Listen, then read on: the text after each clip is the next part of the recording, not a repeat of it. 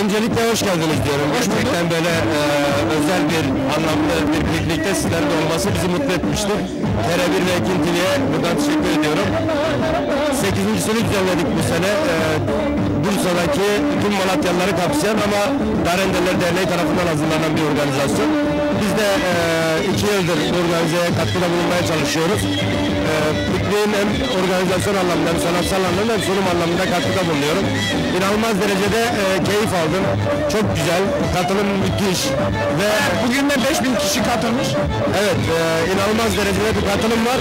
Ayrıca bugün Babalar Günü, babaların Babalar Günü'nü kutluyoruz e, bu vesileyle. E, dikkatimi çeken konu Bursa milletvekillerinin hemen hemen tamamı katıldı. Malatya milletvekillerimiz buradaydı, belediye başkanları, dernek ve vakıf başkanları, e, iş dünyası ve de e, ciddi anlamda sponsorlar destek bu pikniğe. İnanıyorum ki bundan sonraki e, gelişmeleri de hep birlikte takip edeceğiz ki dernekçilik anlamında çok güzel şeyler yapıyor.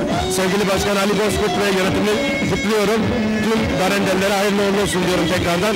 Yeni seneye yeniden inşallah sizlerle oluruz. Şöyle ben sana sonsuz teşekkürlerimi sunuyorum.